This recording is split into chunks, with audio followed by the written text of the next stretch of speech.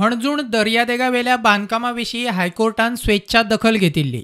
ह्या वाठारांत दोनशे पंच्याहत्तर बांधकामास स्कॅनरार आशिल्लीं ह्या बांदकामांत सरपंच पंचाच्या फामिलीचेय बांधकामा. ताच्या आड कारवाय करूंक ना म्हूण हायकोर्टान वडेर काडलो सरपंच लक्ष्मीदास चिमुलकर आणि पंच शीतल नायकाचे अधिकार काढून घेतले.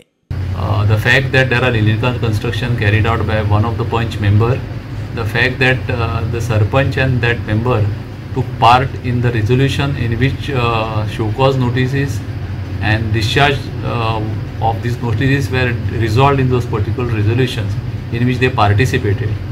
The High Court has held that they have incurred a disqualification under section 12 1D of the Panchayat Raj Act and they cease to be the member and sarpanch of the village panchayat of Anjuna as a result of which the High Court has restrained them from acting as a sarpanch and the member of the panchayat of Anjuna.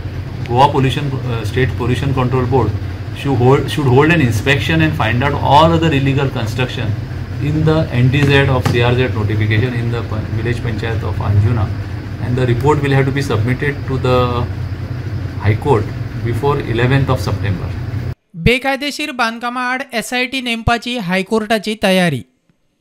High court has further directed that a deputy sarpanch should take over the charge of this panchayat The court was uh, concerned and was inquiring as to whether SIT can be formed in this case because the court is thinking that the panchayat and all other authorities are not acting against the illegal constructions.